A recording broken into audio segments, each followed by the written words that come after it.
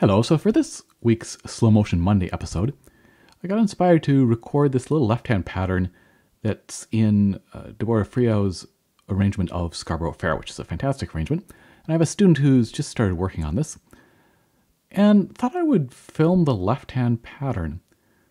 So, one of the things I'm looking at here is just how I get from this bottom note as we start up, here we go, crossing four underneath, and then watching how three and two go as directly as possible to those two notes. In, in other words, we're not reaching up and coming down, that they're going as efficiently and as effectively as possible to the next group. So we're about to see that again as it comes up again. So four crosses under nice and low, and three and two, you can see they just kind of open right up onto the strings. It's also interesting to note, of course, that on the way up there, that thumb places quite late. Sort of uh, the when you're first practicing something like this, it's nice to practice placing as a group, right? So you've crossed four under, and now you're going to place three, two, one before playing any notes, right? That's sort of the the very classic way of doing that. Same as on the way down, right? We get ready, we cross that thumb over, and then we're going to place two and four as a unit, which in fact I am doing.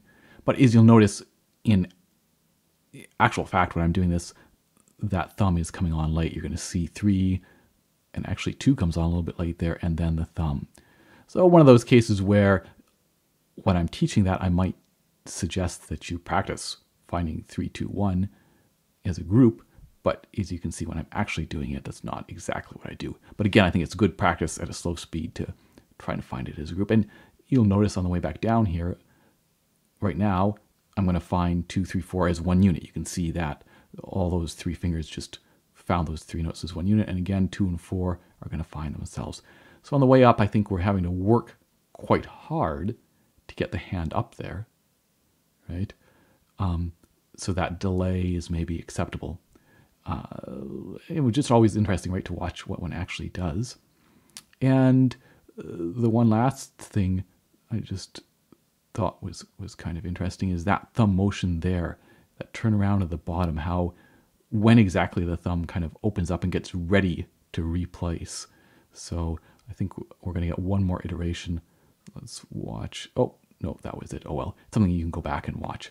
But uh, hope you enjoy that, and I will see you next week for Harp Tuesday. Plus, don't forget, 1 million views celebration on this coming Saturday. Cheers.